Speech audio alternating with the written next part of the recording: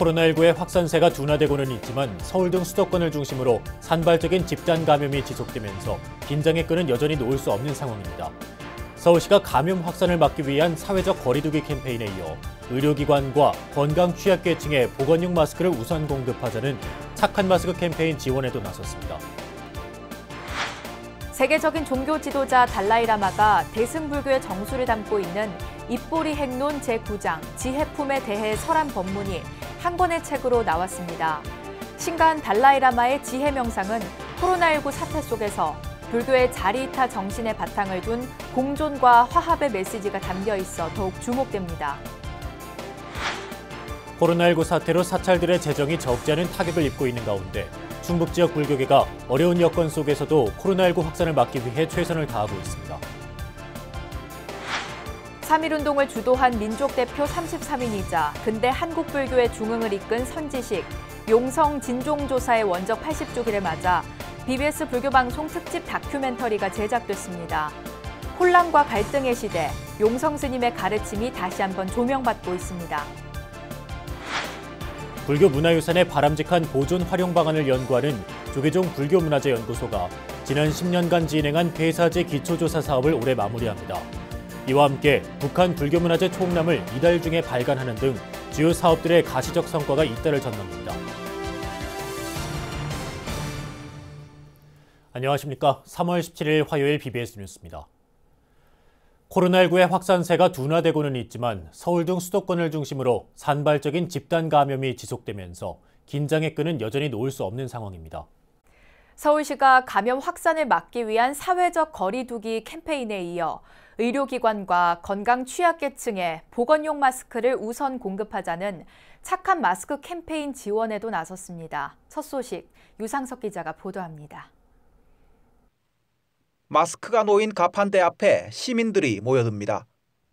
마스크를 받아가는 시민들도 있지만 자신이 가지고 있는 보건용 마스크를 선뜻 내놓는 시민들도 눈에 띕니다.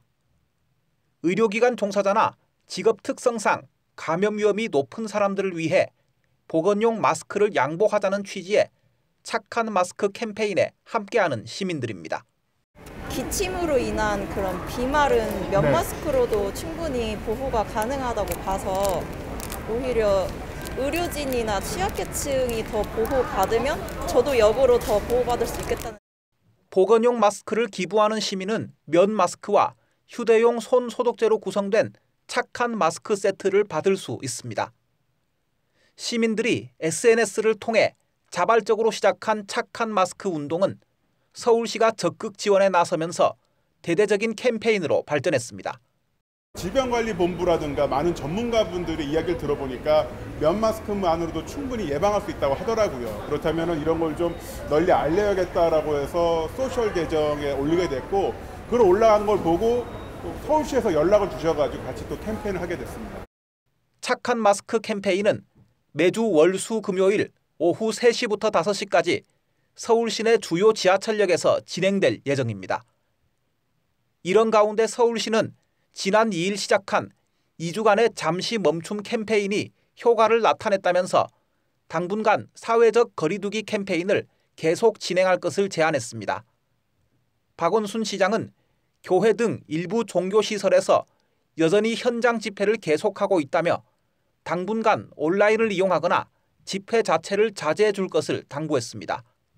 실제로 직장에서 확진자가 교회 예배 갔다가 감염시킨 사례들이 계속 발생하고 있습니다.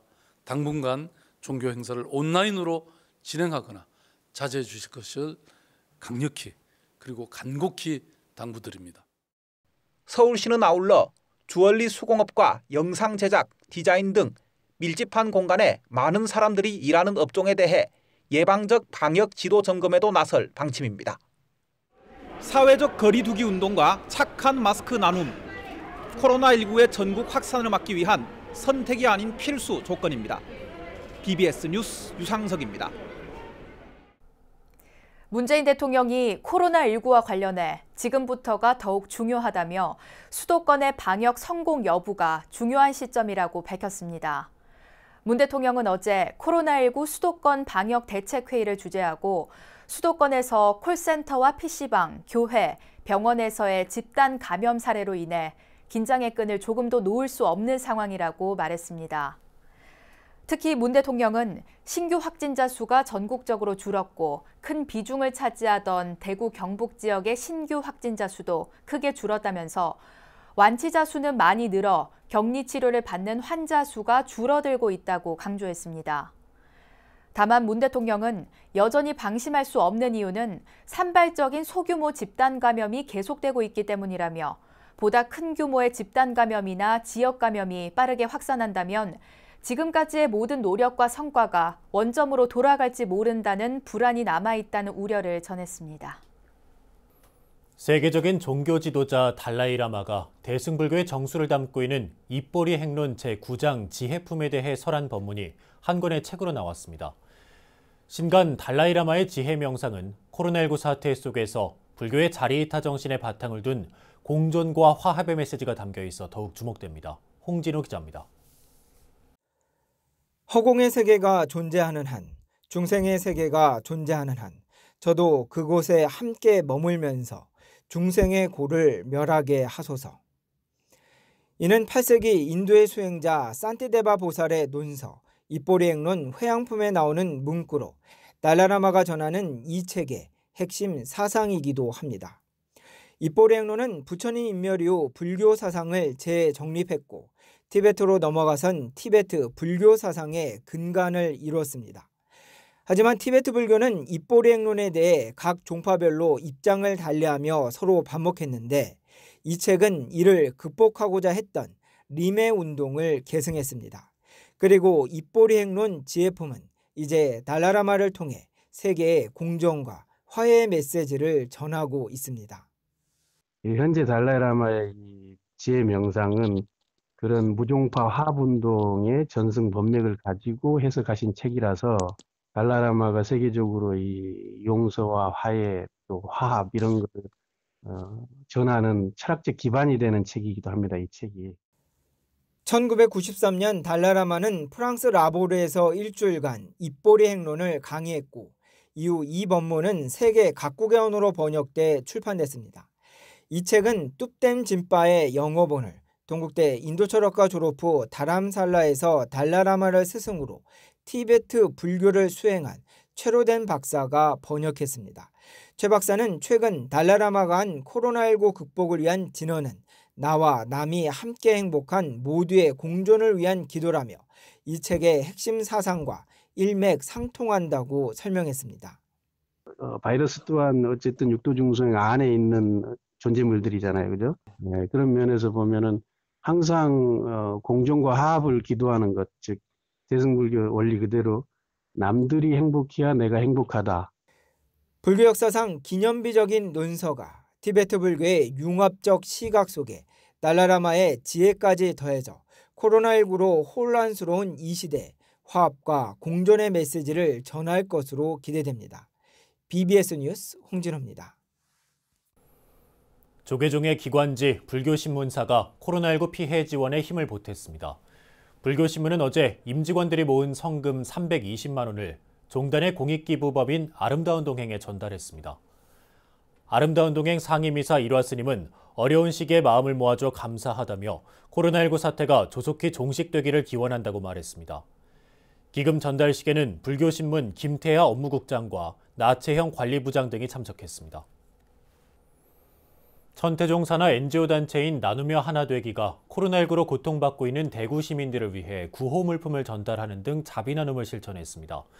나누며 하나 되기는 어제 대구시 수성구 대구 스타디움 등을 찾아 대구시청 등의 관계자들을 격려하고 손 소독제와 구급약품, 기능성 장갑, 물티슈 등 구호 물품 2천만 원 상당을 대구시에 전달했습니다. 저희 천태종이 기본적으로 저희는 애국불교, 대중불교, 생활불교를 3대 지표로 삼고 있습니다. 그래서 저희 같은 경우는 늘 대중들과 함께하는 동체 대비심을 가장 중요하게 아, 생각을 하고 있어요. 그래서 어, 특히나 대구에서 고통받는 분들 조금이나마 도움이 되십사 해서 앞서 천태종은 지난 9일에도 경북도에 코로나19 성금 1천만 원과 1,300만 원 상당의 체온계 130개를 전달했으며 동남아시아 이주 노동자를 비롯한 질병관리본부 콜센터, 인천검역소, 광복회 등에도 구호 물품을 전달하며 코로나19 극복에 힘을 보탰습니다.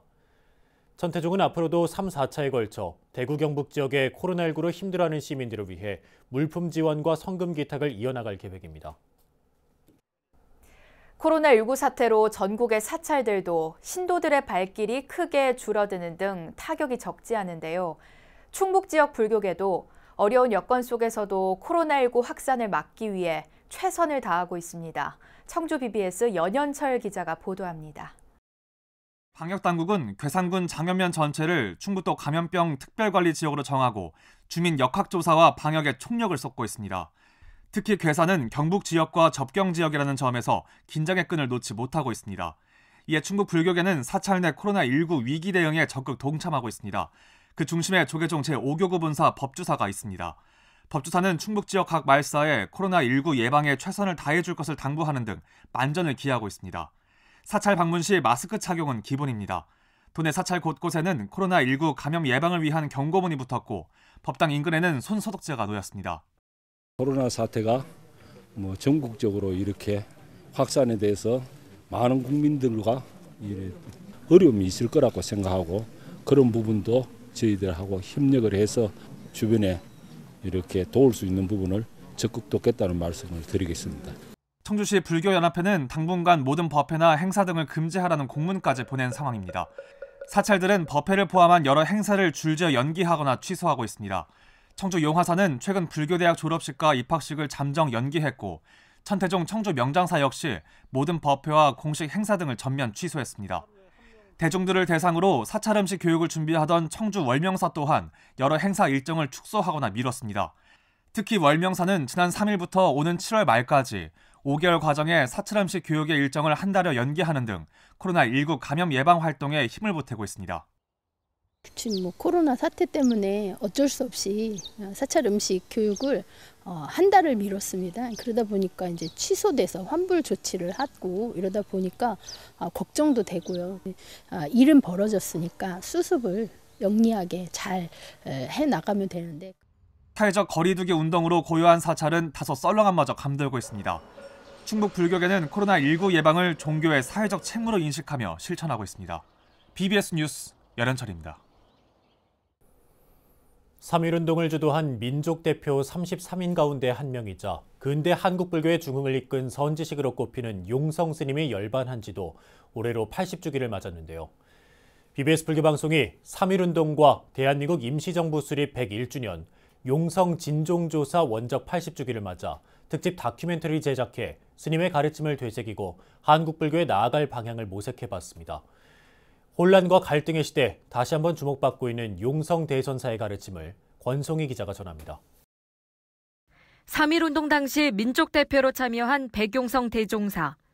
1년 6개월 동안 옥고를 치르면서도 일제의 결연한 의지로 맞서 한국 근대사의 대표적인 민족 지사이자 항일 운동가로 꼽힙니다. 용성 스님은 일제강점기 한국 불교의 전통을 지키는 일이야말로 민족 독립의 기림을 주창하며 불교의 현대화와 대중화에 앞장섰습니다. 3.1운동과 대한민국 임시정부 수립 101주년, 용성 대종사 원적 80주기를 맞아 용성 스님의 생애와 사상을 재조명한 다큐멘터리가 BBS 불교방송 TV를 통해 전국의 불자들을 만납니다. 이번 다큐멘터리는 일제강점기 당시 우리나라의 상황을 재현하고 스님의 탄생과 출가부터 스님이 남긴 유훈 등의 이야기를 담았습니다. 각다 각행을 통해서 강만 깨달음으로 충만한 세계를 이루어라. 이렇게 과거에도 읊히시고 현재 오신 날에도 읊힐 것이고 보살의 화연이기 때문에 여러 가지 뭐 대각 사상이라든지 대각교 운동이라든지 불교 음악이라든지 한글화라든지 또 이제 그 선농 불교라든지 이런 여러 가지 다양한 일을 다 한꺼번에 용성 스님은 특히 중생을 구제하기 위한 하와 중생의 방편으로 참불가를 아이들에게 가르치고 도심 속 대중포교에도 적극 나섰습니다. 방송에서는 용성 스님의 가르침을 되새기고 한국 불교에 나아갈 방향 등도 제시합니다. 용성 큰 스님의 뜻을 잊지 않고 오늘날에 이어받아 가지고 세세생생토록 불법이 온전하게 전할 수 있게끔 그래서 감노사를 기본 재산으로 해가지고 최초의 재단법인 대각회가 설립이 됐습니다. 아, 용성 스님이 행하신 그 행리처 속에서 저희들이 길을 행한다면은 한국 불교가 갖고 있는 많은 문제점들 또 이 시대가 갖고 있는 그 여러 가지 우리가 이제 고민되는 부분들 어, 충분히 거기에서 이제 얻을 수 있다고 저는 생각이 듭니다. 원융 회통하는 공동체 문화의 확립을 외쳤던 스님의 정신은 혼란과 갈등의 이 시대에도 여전히 큰 울림을 전해주고 있습니다. BBS 불교 방송은 TV 특집 다큐 용성 대종사를 내일 오후 1시 30분 첫 방송을 시작으로 22일까지 모두 4차례 방송합니다. BBS 뉴스 권송입니다. 한의학 박사인 조성태 아카데미 한의원 원장이 BBS 불교 방송의 10만 후원 공덕주의 모임 만공회에 동참해 방송 포교 불사에 힘을 보탰습니다. 조성태 원장은 어제 서울 마포 다봇빌딩 BBS 불교방송에서 이선재 BBS 사장을 만나 방송 제작 후원금 천만 원을 전달했습니다. 이선재 사장은 어려운 상황에서도 만공의 발전을 위해 정성의 손길을 전해준 데 대해 감사의 뜻을 표했습니다. 조 원장은 요즘 코로나19 사태로 건강과 안전에 대한 우려가 크다면서 자신의 체질에 맞는 음식 조절과 섭생을 통해 면역력을 키워야 한다고 강조했습니다. 불교 문화유산의 바람직한 보존, 활용 방안을 연구하는 조계종 불교문화재 연구소가 지난 10년간 진행한 폐사지 기초 조사 사업을 올해 마무리합니다. 이와 함께 북한 불교문화재 총남을 이달 중에 발간하는 등 주요 사업들의 가시적 성과가 잇따를 전망입니다. 류기환 기자입니다. 불교 문화의 보고로 불리는 옛 절터, 즉 폐사지 5,700여 곳에 대한 불교문화재 연구소의 기초조사가 올해 마무리됩니다. 불교문화재 연구소는 지난 2010년부터 전국의 폐사지 현황을 파악하고 문화재로서의 가치를 규명하기 위해 권역별로 폐사지에 대한 실태 조사를 진행해 왔습니다. 이 과정에서 다수의 사지와 문화재들이 문화유산으로서의 가치를 인정받아 경주 미탄사지 3층 석탑과 경주 송선리 마이블의 문화재 지정으로 이어지는 성과를 이끌어냈습니다. 보성 개흥사지와 삼척 흥전리 사지 등도 기초조사 과정을 거쳐 손상 정도와 복원 방안 등을 제시해 앞으로 문화재 지정을 통한 체계적인 보존 관리가 가능하게 됐습니다. 이와 함께 사지들을 등급별로 분류해 이에 따른 활용 방안 등을 제시한 종합 매뉴얼을 만든 것도 조사의 성과 가운데 하나로 꼽힙니다. 이렇게 폐사지를 절터를 전체 전수조사를 하고 기초조사를 한다는 이런 차원에서는 정말 뭐 다른 나라에도 불교권 국가에서 절터가 없는 곳이 없겠죠. 근데 우리가 이렇게 먼저 선진적으로 그 절터를 학술적으로 이렇게 아, 연구해서 보고서까지 낸다는 것은 굉장히 우리가 좀 자랑스럽게 생각하고 있습니다. 불교문화재연구소의 폐사지 기초조사 사업은 국내에서 처음으로 이뤄진 사지 관련 전수조사에서 더욱 의미를 갖습니다.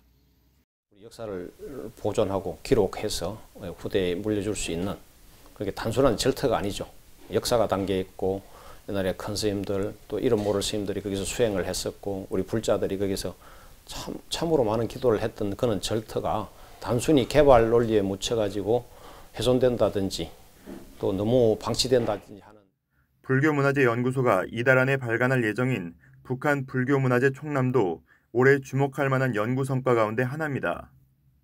총남에는 모든 북한의 사찰과 사지, 불교 문화재 관련 내용들이 실려 있어 한반도 경색 국면에서 남북 불교 교류의 새로운 전환점을 마련하는 데 기여할 수 있다는 기대를 낳고 있습니다. 평양이라든지 뭐 한경도 황해도 어, 그 불교 유적이 성보 문화재가 없는 데가 없겠죠. 그래서 그런 자료들을 다 총망라해서 좀 책자로 낸다면은 향후 뭐 남북 교류라든지 더 나가서 통일된 이후에라도 그 자료들을 충분히 잘 활용할 수 있는 그런 귀중한 자료가 되지 않겠나 생각. 선대 조사 스님들의 수행 흔적이 남아 있는 불교 문화유산의 가치를 발굴하고 후대에 전승하는 데 앞장서 온 불교문화재 연구소. 올 들어 다양한 학술적 성과를 통해 불교 문화의 복원과 계승, 대중화를 이끄는 역할을 톡톡히 해낼 것으로 기대됩니다. BBS 뉴스 류기환입니다. 조계종 총무원이 올해 전북불교 네트워크와 자비신행회, 불교 시민사회 네트워크, 더 프라미스 등 불교 시민사회 단체 4곳의 사업을 지원하기로 했습니다. 조계종은 2020 불교 시민사회 단체 지원 사업 공모 결과 4개 단체 공모 사업이 최종 선정됐다고 밝혔습니다. 전북불교 네트워크는 기후변화에 대처하는 청년 모임을 통해 지속 가능한 공동체를 위한 청년 시민학교 운영 계획안이 높은 점수를 받았고 자비신행회는 불자 엄마들의 청년들을 위한 응원 프로젝트 유튜브로 만나는 청년 식당 이야기 제작 운영을 지원받게 됐습니다. 불교 시민사회 네트워크가 제출한 청년 불교 프로그램 개발과 실천 현장 탐방 프로젝트 청년 불교를 듣다도 높은 점수를 받았고 국제개발협력단체 더프라미스는 코로나19 사태 일선에서 일하는 공중보건 인력을 위한 심리치료 지원 프로그램 운영비를 지원받습니다. 이어서 꼭 짚어봐야 될 공감 뉴스들을 모아봤습니다. 오늘의 알찬 뉴스입니다. 문화체육관광부 등이 저작권 침해 범죄에 특화된 디지털 포렌식 기술 역량을 갖춘 융합형 인재 양성에 나섭니다. 문체부 등은 공모를 통해 저작권 특화 디지털 포렌식 대학원을 선정해 올해 9월부터 본격적으로 석사급 인재 15명 이상을 교육할 예정입니다. 문화체육관광부가 전국 지방자치단체와 교육청에 학교 등 공공도서관의 도서 구매 시 지역 서점을 우선 이용해 줄 것을 권고했다고 밝혔습니다. 아울러 도서 납품 시장에 등장한 유령 서점들을 견제할 지역 서점 인증제 도입도 적극 검토해 줄 것을 요청했습니다. 경북 포항 앞바다에서 천연기념물 수달이 발견됐습니다. 포항해양경찰서에 따르면 경비함정 근무자가 15일 오후 6시쯤 포항구항 여객선 터미널 인근 바다에서 수달을 발견했다고 밝혔습니다. 전염병을 소재로 한 영화 컨테이전에서 신종 전염병의 원인이 되는 야생박쥐의 바이러스는 공장식 축산으로 자란 돼지에 의해 시작됐습니다. 보다 많은 육류를 생산하기 위한 공장식 축산은 어제 오늘의 문제가 아닌데요. 동물 윤리를 실천하기 위한 채식 인구가 전 세계적으로 늘어나고 있다고 합니다. 어쩌면 야생동물과 가축을 함께 살아가는 생명체로 인식해야만 바이러스의 공격이 멈추지 않을까 생각됩니다. 네, 이상으로 3월 17일 화요일 BBS 뉴스를 마칩니다. 여러분 고맙습니다.